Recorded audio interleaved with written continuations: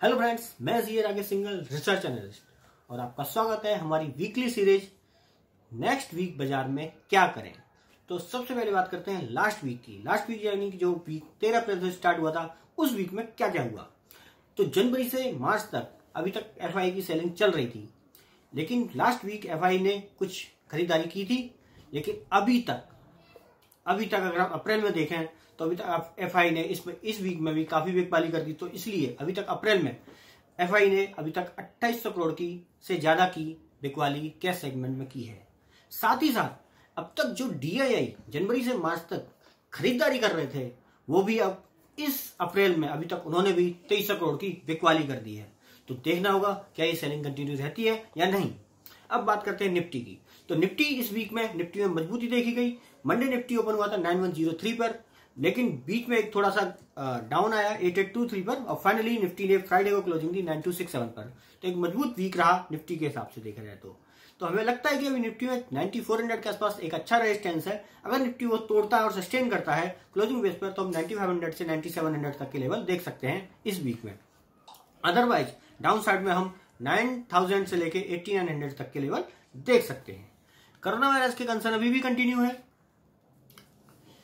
Globally अगर हम देखें, अभी तक कंफर्म केस तेईस लाख से ज़्यादा कंफर्म केस हो चुके हैं और एक लाख पचास हज़ार से ज़्यादा डेथ हो चुकी है। अब बात करते हैं नेक्स्ट वीक क्या होगा। इस सॉरी इस वीक में क्या हो रहा हुआ? तेरह अप्रैल को मंडे को वर्ल्ड मार्केट बंद थे, लेकिन इंडिया मार्केट ओपन था। तेरह अप्रैल को ही इंडिया के सीपीआई के नंबर आए, जो कि 5.91 रहे, जो कि ईयर ऑन ईयर पर पिछली बार 6.58 थे। यानी कि अगर हम देखें तो कंज्यूमर प्राइस इन्फ्लेशन जो है वो कम हो रही है। इसके साथ साथ चौदह अप्रैल को इंडिया मार्केट क्लोज था, क्योंकि बाबा साहब अंबेडकर जयंती थी, लेकिन बाकी का मार्केट ओपन थे।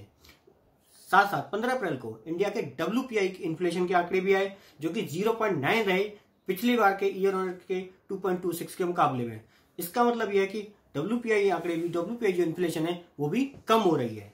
अब पंद्रह अप्रैल को, साथ ही साथ बैंक ऑफ़ कनाडा की एक मीटिंग थी, जिसमें कि पॉलिसी में कोई, उन्होंने इंटरेस्ट रेट में कोई चेंज नहीं किया interest rate zero point two five percent ही रहा। इसके अलावा 16 अप्रैल को यूएस के जॉब क्लेम के जॉबलेस क्लेम के आंकड़े आए, जो कि पिछली, पिछले हफ़्ते जो फोर्थ अप्रैल को जो वीक क्लोज हुआ था, उसमें 6.6 मिलियन थे, जो कि इस बार थोड़े से घटे, और इलेवेंथ अप्रैल को जो वीक क्लोज हुआ, उसमें 5.245 मिलियन रहे।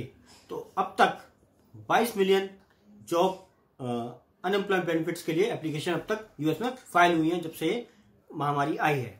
सत्रह अप्रैल को आरबीआई ने कई सारे मेजर्स कोविड नाइन्टीन से निपटने के लिए बैंकों को दिए।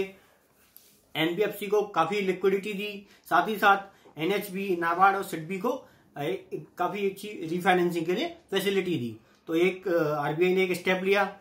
अब बात करते हैं नेक्स्ट वीक की। नेक्स्ट वीक 20 अप्रैल को जब मार्केट खुलेगा तो सबसे पहले तो इंडिया में 20 अप्रैल को कहीं पार्शियली कुछ लॉकडाउन को ओपन होने की घोषणा जो की थी कुछ सर्टेन रेस्ट्रिक्शन के साथ जिनमें कि rural agriculture essential commercial activity साथ ही साथ आईटी और IT enabled services with 50 percent staff और कहीं कहीं कुछ लॉजिस्टिक सेक्टर तो इनको कुछ पार्शियली कुछ खोला है कुछ कंडीशन के साथ. साथ ही साथ 20 अप्रैल को इन्फोसिस अपने जनवरी से मार्च क्वार्टर के रिज़ल्ट डिक्लेयर करेंगे। साथ ही 21 अप्रैल को एसीसी अपने मार्च क्वार्टर के रिज़ल्ट डिक्लेयर करेगी। 23 अप्रैल को यूएस जॉबलेस क्लेम के आंकड़े आएँगे। 24 अप्रैल को इंडिया अपने बैंक लोन ग्रोथ और डिपॉजिट ग्रोथ के आंकड़े पेश करेगा। तो आज के लिए बस इतना ही। हमारे चैनल टैक्स फॉर वेल्थ को देखते रहें मार्केट के अपडेट के लिए। घर पर ही रहें, स्वस्थ रहें। धन्यवाद।